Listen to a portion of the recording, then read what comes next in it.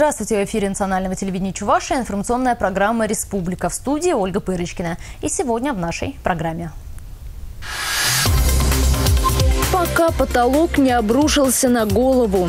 Как оценил работу по переселению из ветхого аварийного жилья в Чувашии замминистра строительства страны. Первый раз в новый класс. Как украинским детям помогли собраться в школу. Тяжелый случай. Как лишний вес может повлиять на качество дорожного покрытия? Сегодня завершила свою работу Всероссийская конференция Ассоциации водоснабжения и водоотведения. За два дня было проведено несколько круглых столов, заседаний секций, рабочих поездок по объектам. Участники конференции выработали проект резолюции, в которой обозначены системные проблемы отрасли водопроводно-канализационного хозяйства и пути их решения. Самое главное сейчас активно привлекать инвестиции и профессиональные бизнес-структуры в сферу водоснабжения и водоотведения, подчеркнули участники конференции. Глава Чувашии Михаил Игнатьев поблагодарил всех участников за высокую оценку, поставленную нашему водоканалу. Наша задача обеспечивать качественной питьевой водой не только в городских округах, но и в сельской местности, с учетом того, что проживает э, не менее 40% населения в сельской местности. Кое-что мы сделали, но многое еще предстоит сделать для того, чтобы построенные водохранилища полностью запустить, и селяне тоже получили качественную питьевую воду. Сегодня же заместитель министра строительства и жилищно-коммунального хозяйства России Андрей Чибис провел совещание с коллегами, руководителями муниципалитетов Чувашии по вопросам переселения из ветхого аварийного жилья, капитального ремонта и лицензирования деятельности управляющих компаний. Первый этап программы переселения из ветхого и аварийного жилья завершается в этом году. Все показатели, запланированные на этот период, Чувашия выполняет. Проблемы, возникшие в столице республики, были связаны с высокой рыночной стоимостью квадратного метра, но власти сумели их решить. Что касается капитального ремонта, заместитель министра рекомендовал ускорить составление краткосрочной программы, чтобы можно было получить федеральное финансирование и уже начинать работы на тех объектах, которые больше всего в этом нуждаются. В целом, за работу по переселению из ветхого и аварийного жилья, проводимую в республике, Андрей Чибис поставил отметку «хорошо». Мы специально заранее проверяли э, с использованием общественных контролеров качество тех домов, домов, куда уже переехали люди. И насколько вот, э, мы имеем информацию, претензий по качеству, ну, за исключением, может мелких, там, как это всегда бывает, их нет. И это очень важно. Я сам вчера в несколько квартир зашел, не запланированно, неожиданно, а, и я посмотрел, что люди живут, люди переселяются в достойные условия. Поэтому Чувашия здесь э, на фоне других регионов э, выглядит э, на достаточно высоком уровне. Подробнее о том, какие проблемы были озвучены на совещании, какие пути их решения предлагались, мы расскажем завтра в информационной программе «Республика». Дома, которые упомянул федеральный чиновник на совещании, он посетил накануне во время объезда столицы республики. Андрей Чибиса интересовало исполнение программы по переселению граждан из домов в аварийном состоянии. Ветхим жилое помещение может быть признано только в том случае, если износ его конструкции превышает 70%. Такими по Чувашии признано 873 дома. Дом по улице Богдана Хмельницкого представляет собой жалкое зрелище. Фундамент ушел глубоко в землю, углы перекосило, крыша протекает, деревянная лестница гниет. Единственное, что может Ольга Всеволодовна, это поддерживать порядок в своей квартире. Но бороться с аварийной ситуацией сил уже нет. Вся ее семья ждет переезда в новый дом. Ждут, конечно. Ну, ну, говорят, вот 14 год или 15 год ждем. По программе 14 По программе, да, 14 года. Но ну, у нас перекресток сейчас очень много этот машин, конечно, ездит.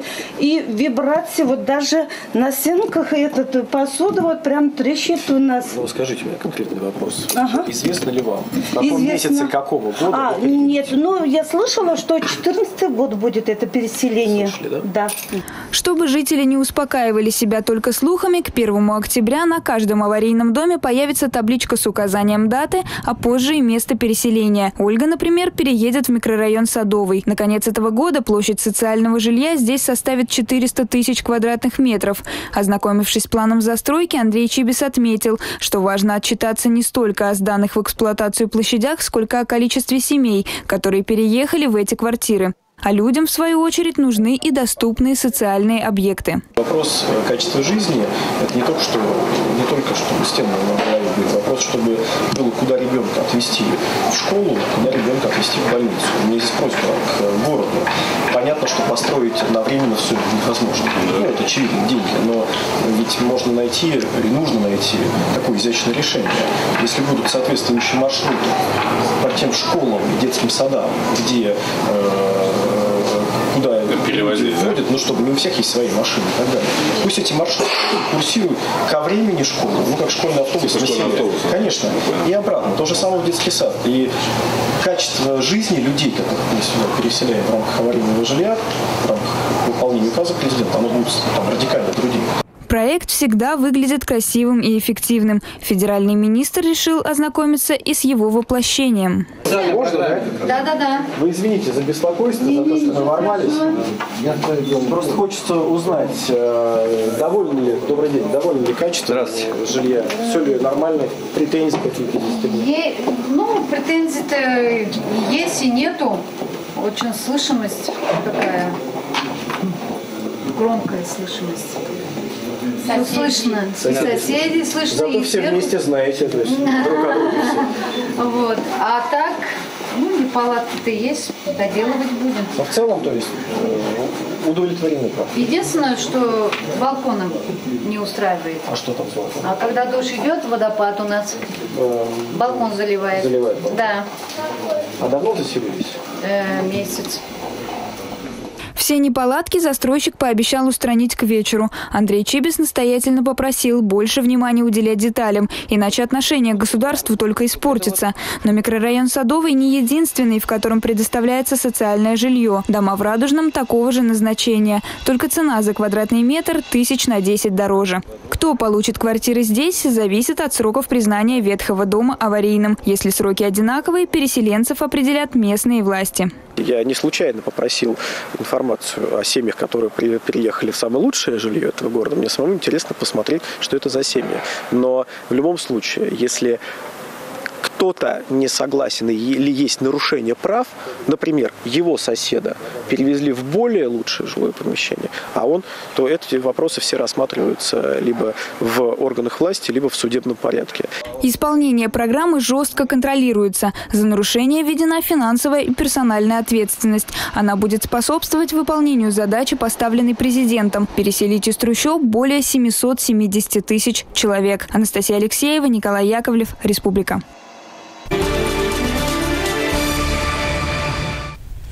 До 1 сентября считанные дни, а их прежняя школьная форма, ранцы, тетради и карандаши остались за тысячи километров. В этом году в Чебоксарах за парта сядут более 80 украинских детей.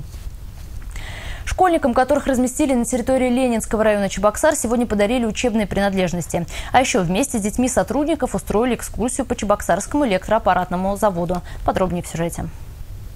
73 года назад завод эвакуировали в Чебоксары из Харькова. Это крупнейший город в Восточной Украине. Тогда, в 1941 году, оборудование вывезли подальше от фашистских захватчиков. Ну а эти дети вместе с семьями были вынуждены бежать с Украины подальше от тех, кто не выучил урок истории Второй мировой. И в далеких 40-х и сейчас завод производит продукцию, в том числе для оборонной промышленности. Но в Чебоксарах под мирным небом в музее предприятия она вызывает не страх, а только интерес. Казалось бы, объяснить простым языком детям, что сейчас производит завод, не так легко. Однако за сложными названиями скрывается простой и очень важный смысл. А, все прекрасно знаем, откуда у нас появляется электричество в квартире. Для того, чтобы оно поступило именно к вам в квартиру, мы делаем блочно-модульные подстанции трансформаторного типа. А, это, так, ну, можете смотреть, это домики. Бывают они разные, бывают они большие, бывают они маленькие, бывают они теплые, бывают они холодные. А, бывают они стоят из нескольких зданий, чтобы вам было тепло, чтобы вы могли учить уроки, а, чтобы у вас был свет всегда. Возможно, через года эти дети станут сотрудниками предприятия, а пока им надо учиться. Собраться в школу помогли депутаты городского собрания, город администрации и представители завода. Тем семьям, тем людям, которые сейчас вынуждены были покинуть свои дома в Украине и переехать на территорию России, в частности, в город Чебоксары. У них очень затруднительная ситуация, естественно, с финансами, а поскольку собрать э, ребенка в школу – это очень э, дорогое сейчас э, мероприятие, и поэтому мы решили помочь. В школе нужно тетрадки, ручки, карандаши, краски. Я буду учиться хорошо. Одели с ног до головы наших детей, подготовили в школу и констовары, и школьная форма, потому что на Украине нет такой строгости с формой. Дети, то есть в чем хотят, то мы ходят в школу. А здесь, да, форма, все строго. Школа очень хорошая, учителя вообще очень классные, веселые такие, и э, вот говорят, что помогать тоже будут. Новые чебоксарские школьники обещают, учиться будут только на пятерке. Взрослые отмечают, это не так важно. Главное, что за окнами не будут рваться снаряды. О подготовке к новому учебному году, трудоустройстве и размещении говорили сегодня на заседании рабочей группы. В Чувашии 60 объектов стали пунктами временного размещения граждан, вынужденно покинувших Украину. Они рассчитаны на 350 человек. Среди объектов реабилитационный центр для детей и подростков с ограниченными возможностями, туристический оздоровительный комплекс «Заимка», ряд объектов спортивных учреждений, детский оздоровительный лагерь «Созвездие», физкультурно-оздоровительный центр «Белые камни» в Мариинско-Посадском районе и другие. Напомню, что сейчас в Чувашии развернуты три пункта временного размещения, где проживают 186 граждан Украины. В ближайшее время в республику должны приехать еще 278 человек. 133 ребенка из Украины должны 1 сентября пойти в школы Чуваши. Из них 88 в Чебоксарах. Все школьники закреплены за учебным заведением. Многие ученики уже познакомились с учителями и одноклассниками. В Министерстве образования республики составили специальную таблицу, в которой отмечают, в чем нуждается каждый ребенок и как решается проблема. Какие проблемы? Это первая проблема. Э, родители уже говорят, что не могут оплатить за детский сад. Это 2000 рублей в городе, достаточно большая сумма. И поэтому сейчас первая тема возникает на перспективу. Вторая тема – оплата за питание в школах. То есть у них тоже денег нет, как будем платить. Задачу ставим, чтобы ребенок пришел с комплектованной школьной формой полностью, э, знал четко, куда, какой класс, и чтобы классный руководитель, директор школы принял его как родного. Всего по России трудоустроено 4% выходцев с Украины. Среди лидеров Свердловской и Ростовской области и Пермский край. Не работает ни один беженец в Челябинской области. В Чувашии трудоустроены 20%. У нас ежедневно находят работу в среднем 5-6 человек. Зам руководителя госслужбы занятости по Чувашии Наталья Тараканова рассказывает, что проблем с рабочими местами у нас нет. Но не все соискатели приходят на собеседование в положенное время. В Республиканском э, банке вакансий имелись сведения о наличии 1736 свободных рабочих мест и должностей служащих, в том числе 337 вакансий с предоставлением жилья. Вакансии заявлены 116 организациями Чувашской Республики. Средняя заработная плата по заявленным вакансиям составляет 13 529 рублей, но в городе Чебоксар несколько выше – 14 566,9 рубля. Около 70% вакансий – это рабочие специальности. На заседании рабочей группы было решено привлечь к трудоустройству украинцев и профильные министерства. А предприятиям рекомендовано создать квоты для переселенцев. Татьяна Молокова, Андрей Шоклев, Республика. К другим новостям. Во время одной из рабочих поездок Михаил Игнатьев выразил недовольство состоянием дороги «Волга» на участке от Большого Сундыря до пристани Шишкары. Из-за частых перевозок тяжеловесного груза, превышающего нормы, на асфальте образовалась колейность. Наша съемочная группа отправилась на место весового контроля, чтобы выяснить причины ухудшения состояния дороги. По муниципальной дороге Маргаушского района, ведущей к Волге, многотонники ездят ежедневно и не один раз. И все бы ничего, если бы вес груза соответствовал нормам. В среднем за ним приезжает где-то около 60 машин. Нарушители, можно сказать, попадаются каждая вторая машина. С перегрузом более допустимых норм. Осевым нагрузкам 10,87. Размеры штрафов зависят от перегруза транспортного средства и от пройденного им километража. Так высчитывается урон, причиненный дороге. А вот и очередной КАМАЗ, который оказался злобным нарушителем, то есть не первый раз проезжает перегруженным. Это, конечно, какой-то э, здесь э, очень хитрый, хитрая вещь. Э, машина 13 тонн рассчитана, а по осям он 10 тонн не проходит. Осевая нагрузка идет 10, 8, 7. Да, 10, 8, 7, во. Ага. А машина на 13 тонны заводом выпускается. И так каждый день. Но весовой контроль работает не круглосуточно. Этим и пользуются нарушители. Они готовы простоять весь день, чтобы перевести тяжелый груз в то время, когда рабочая смена уже закончилась. Так никто не сможет помешать им проехать безнаказанно. Естественно, дорога не рассчитана на те массы, которые возят по этой дороге. Наша задача, чтобы ущерб тот, который наносит транспортная компания нашим дорогам, она возмещала. И мы на эти деньги, конечно, восстанавливали эту дорогу. Штрафы поступают в Республиканский дорожный фонд. Однако не все нарушители стараются выплатить их вовремя. Порой дело доходит даже до суда. В целом дороги Чувашии находятся в удовлетворительном состоянии, но неизвестно, к чему может привести безответственность собственников транспортных фирм и приближающиеся дожди, считают в управлении республиканскими дорогами. Екатерина Абрамова, Антон Вовк, Республика. Дважды Герой Советского Союза, генерал-майор авиации, первый космонавт, который работал на орбите без скафандра. 5 сентября исполняется 85 лет со дня рождения Андреяна Николаева. Помимо торжественных мероприятий, приуроченных к юбилею, будет реализован проект космического масштаба.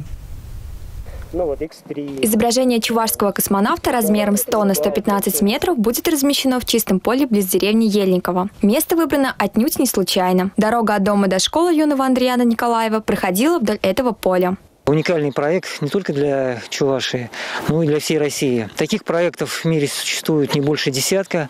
Они есть в Америке, а есть в Японии. Вот изучив опыт, мы решили, что нужно отдать дань памяти великому сыну Чуваши и реализовать этот проект. А проект, он очень технически сложный. А точность маркировки 2-3 сантиметра, потому что если мы немножко исказим, то лицо э, перекосит. От точности изображения зависит конечный результат. Тут, как в хирургии, допустить ошибку непозволительно. Для проекта используется дорогостоящая сельхозтехника, которую нужно обслуживать. Требуется рабочая сила и расходные материалы. Для того, чтобы воплотить задумку в жизнь, был создан общественный фонд. Объявлен сбор средств. Вот я сегодня собственным примером э, заложил определенный свой взнос и очень будем рады, если э, каждый житель Чувашской республики окликнется, э, не будет покупать даже школьник сегодня, не съест пирожок, не купит жвачку, а направит с, мобильного телефона даже 10 рублей. Республика будет благодарна, потому что это поистине наша гордость. И для меня сегодня честь участвовать в данном проекте. И надеюсь, что каждый будет потом гордиться. Принять участие в реализации проекта может каждый желающий. На сайте Министерства культуры Чувашии есть раздел «Агроизображение лика летчика-космонавта Андреяна Николаева». Там указаны реквизиты общественного фонда. Платеж, переводимый на счет общественного фонда, пополняется онлайн. Так что убедиться в том, что средства, отправленные на благотворительность, дошли до адресата, можно не отходя от компьютера. Дарина Игнатьева, Антон Вовк. Республика. Наш выпуск на сегодня завершился. Я с вами прощаюсь. До свидания.